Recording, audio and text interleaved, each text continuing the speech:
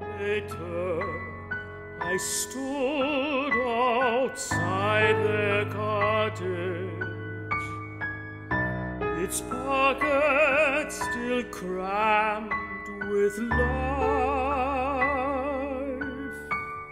and in the garden